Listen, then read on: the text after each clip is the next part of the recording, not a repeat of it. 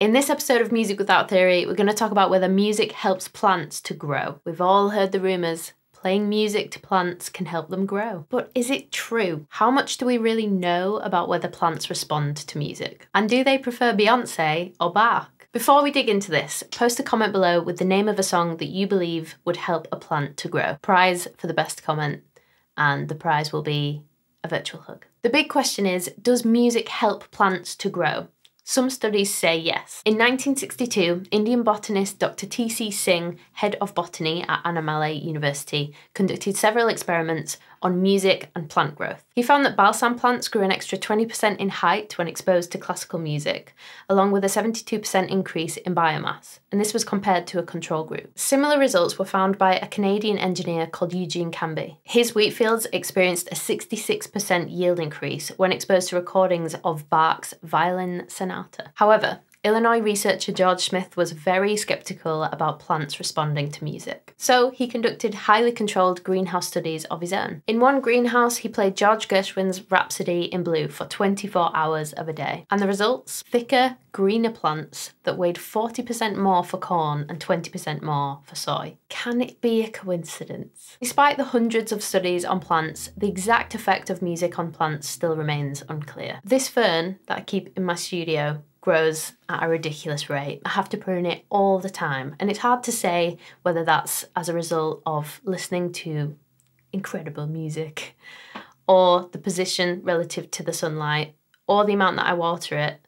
But if I had to make an educated guess, I would say it's probably the music. As we know, plants don't have brains, ears, or central nervous systems in the same way that animals do, but they can still perceive light, scent, touch, wind, and gravity. German biologist Michael Schernier believes that plants may have organs that perceive noises too. He says that sound vibrations could trigger a response of the plant via mechanoreceptors. In humans, mechanoreceptors are able to detect and distinguish sound waves in the form of pressure as each wave strikes the inner ear. So, if plants have similar receptors, they too might be able to respond to changes in sound waves, such as those in music. One theory is that the vibrations of sound waves within music might help to stimulate a plant's cytoplasmic streaming process, therefore prompting better growth. Despite all of this, Many scientists argue that there is not enough conclusive evidence to support the theory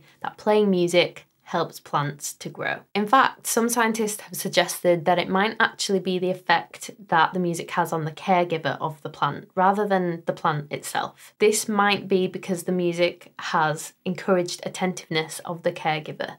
So, if the caregiver has decided to play a plant some music, maybe the caregiver will be around more to give the plant more water. However, I would love to think that plants do respond positively to hearing or sensing music in some way. So I'm thinking of running an experiment of my own. Maybe to one plant I will play hardcore metal, and to the other plant I will play slow jams.